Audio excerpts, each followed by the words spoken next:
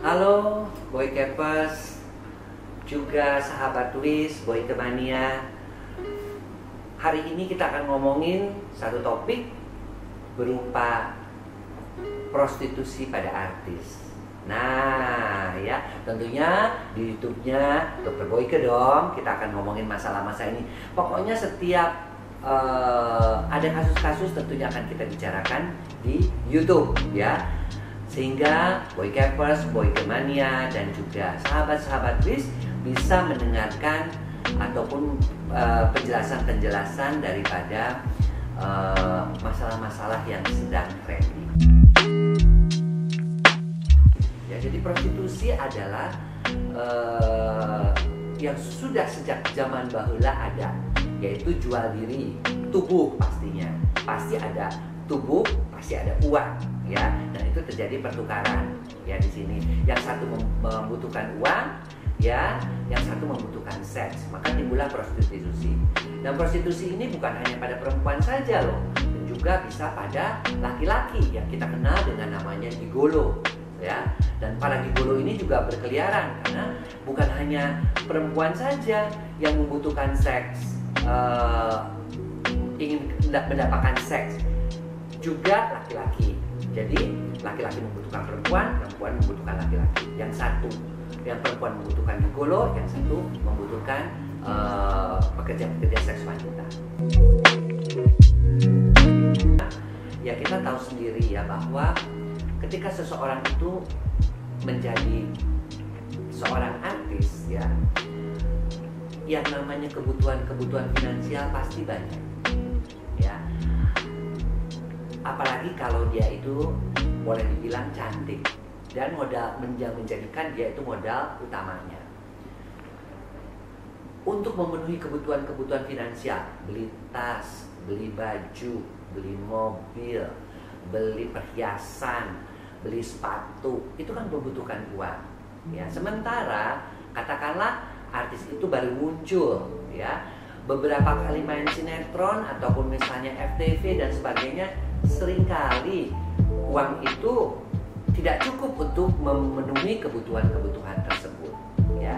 Sehingga ketika para mucikari dalam tanda kutip melihat oh ini potensi ini bisa dijual nih. Lalu mereka mendekati lalu mereka uh, negosiasi lalu akhirnya mereka menjadi uh, calo atau mucikari untuk menjualnya. Nah ini yang kadang-kadang uh, bikin kita sedih ya seharusnya ya sebagai uh, apa artis-artis ataupun pen sinetron yang mungkin sudah sedang menanjak. Anda kalau memang anda memang cantik ya kalau memang anda berbakat untuk bermain uh, film ataupun sinetron nggak perlu lah sampai begitu pun otomatis kok dengan penampilan penampilan penampilan tidak harus bermerek juga anda akan dihargai oleh masyarakat kalau kita mensikapi prostitusi ya kita juga mesti mengerti sih memang ya. Karena kalau prostitusi artis kan sebenarnya mereka tidak secara sosioekonomi mereka sih cukup ya. Artinya untuk makan sehari-hari sih cukup ya. Tapi yang prostitusi-prostitusi yang non artis ini ya yang betul-betul mereka sedang kena katakanlah di PHK kemudian juga mereka tidak punya atau lahannya yang tempat mereka bertani di desa-desa itu kena puso, kena hama, ya sementara kebutuhan di desa juga tidak ada pekerjaan dan sebagainya sehingga mereka lari ke kota kemudian menjadi prostitusi, ya. Itu dua-duanya kebutuhannya sama uang, tapi yang satu tuh betul-betul untuk kebutuhan pokok, yang satu lagi adalah betul-betul untuk kebutuhan uh, penampilannya. Beda ya beda kebutuhan. Kalau kebutuhan pokok mungkin seseorang masih bisa mengerti. Meskipun itu perbuatannya tetap ya dua namanya prostitusi itu dilarang. Baik uh, oleh negara maupun secara uh, agama ya. Tetapi kita masih bisa menerima lah menerima dalam arti kata kalau kepepet sampai dia harus menjual diri karena tidak bisa makan orang masih bisa uh, dalam tanda kutip ya memaklumi. Ya sekali lagi meskipun itu tetap dilarang ya negara maupun agama. Ya praktek praktek-praktek menjual diri itu ya sama juga sih uh, apa dengan orang-orang koruptor juga sama. Yang satu menjual diri untuk mendapatkan uang, yang satu menipu ataupun mengkorupsi untuk mendapatkan kekayaan. Sama saja sih sebenarnya mereka nggak bahwa uh, pelacur itu lebih uh, apa lebih buruk daripada koruptor. Oh enggak, sama aja kalau menurut saya. Semua yang namanya pencuri, pelacur, yang semuanya merugikan kepentingan umum, merusak negara itu sama aja kalau menurut saya rusaknya ya mereka tidak punya hati nurani mereka tidak takut akan balasan nanti di akhirat dan sebagainya. Tapi yang saya ingin ingatkan adalah bahwa sikap kita menghadapi uh, prostitusi ini adalah pertama ya kalau kita memang melihat ada artis yang dalam tanda kutip memang mereka menjual diri, tentunya ya kita bisa bukan melaporkan ya kan kita juga kadang-kadang nggak mau kepo ya. Tapi paling tidak yang namanya produser yang namanya apa ya e, pencari bakat yang namanya pencari talenta eh, talent talent ya udah jangan menggunakan dia gitu loh. Ya kemudian ya kalau kita kenal, ya kita kasih tahu bahwa perbuatan-perbuatan itu dianggap sebagai perbuatan-perbuatan yang melanggar nilai-nilai norma-norma yang sehat. Nah, seperti itu. Kemudian eh, ya kalau kita tahu dia kos di daerah-daerah tempat kita ya sebaiknya kita kasih tahu juga ya bahwa kita tidak menerima kos-kosan atau orang-orang yang uh, hal-hal seperti itu. Saya tidak tahu ya karena beberapa kos-kos kan khusus perempuan juga kadang-kadang sulit juga membedakan mana yang prostitusi terselubung, mana yang enggak karena namanya prostitusi itu kadang-kadang juga penampilannya juga di luar seperti hal-hal yang biasa seperti orang-orang biasa saja, orang-orang mahasiswi, orang-orang yang bekerja, padahal dalam tanda kutip malam dia bekerja sebagai prostitusi ada yang seperti itu. Perlu diketahui bahwa yang namanya semua seks bebas ya kita tahu akan menularkan berbagai macam penyakit kelamin. Ya. Kalau suami-suami Anda menggunakan prostitusi tersebut ya sehingga timbul penyakit kelamin, maka isi-isi di rumah akan tertular. Nah, penyakit kelamin banyak sekali jenisnya dari mulai herpes, chlamydia, kencing nanah, sifilis, raja singa, sampai kepada yang sampai saat ini belum ada obatnya yaitu HIV AIDS. Ya. Dan menurut pendapat saya, prostitusi juga adalah salah satu penyumbang terbesar terhadap kontribusi HIV AIDS di negara kita.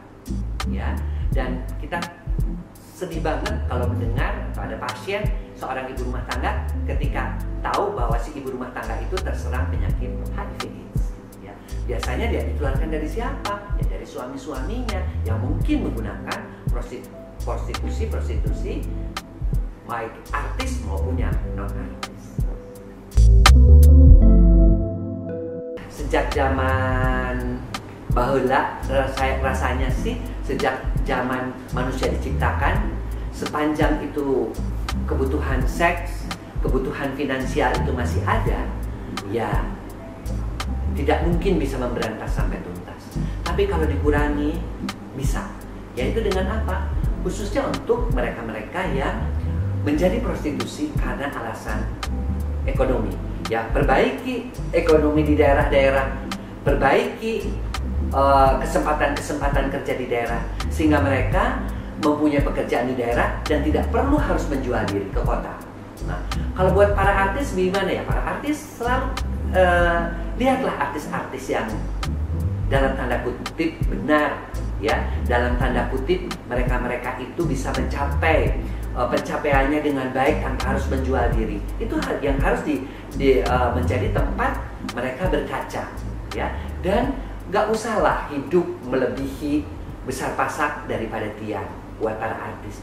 Anda apalagi kalau anda sudah cantik karena saya tahu ya artis-artis yang menjadi prostitusi ini cantik-cantik. Anda sudah cantik gak pakai makeup aja udah cantik kok. Nggak usah pakai barang-barang bermerek aja udah keren kok. Ngapain sih mesti nambah-nambah nambah-nambah dosa? Kedua juga anda juga akan terkena berbagai macam penyakit kelamin. Oke penyakit kelamin nggak kena. Anda kena kanker mulut rahim karena anda berganti-ganti pasangan. Dan penyakit kanker rahim ini uh, mengerikan sekali ya. Dan sebagai penyebab kematian karena kanker nomor satu di Indonesia ya. Artinya apa? Artinya resiko anda sebagai prostitusi juga nggak gampang ya. Maksudnya terhadap berbagai macam penyakit. Belum lagi kalau klien-klien anda itu adalah orang-orang yang sadis masokis. Tiba-tiba anda dipukuli tiba-tiba anda uh, sampai ada yang misfinya dimasukin botol dan sebagainya. Itu adalah kita harus selalu hati-hati ya. Artinya please tinggalkan dunia. Saya katakan dunia hitam ini. Masih banyak pintu yang bertobat yang Tuhan berikan kepada anda.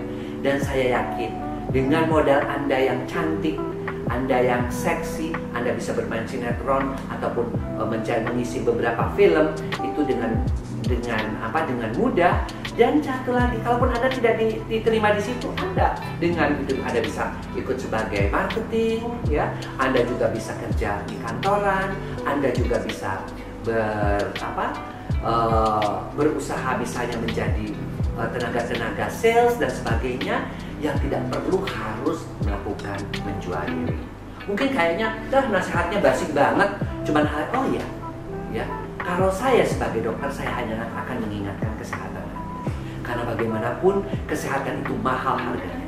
Anda punya uang berapa banyak pun kena kanker mulut rahim, nggak guna. Berapa? Berapa banyak uang yang sudah dihabiskan oleh para artis yang kena kanker mulut rahim. Anda kena HIV AIDS, kapan pun Anda akan mati dan matinya dengan sengsara. Coba ingat-ingat hal itu. Dan itu hanya bisa Anda lakukan kalau Anda mau uh, memberhentikan diri untuk menjadi seorang prostitusi. Apakah itu prostitusi uh, artis atau prostitusi-prostitusi lain? Termasuk juga untuk para uh, pria ya banyak juga prostitusi-prostitusi pria yang memang mereka menjual diri pada uh, yang dan sebagainya percuma anda kalau sampai kena penyakit, hidup Anda akan berakhir. Nah, demikian Waycapers dan juga uh, sahabat-sahabat Wis, kemudian Boykemania, mudah-mudahan prostitusi artis kali ini topiknya bisa membuat mencerahkan Anda dan mengerti ya bahwa segala yang berkaitan dengan prostitusi itu sebaiknya jangan dilakukan.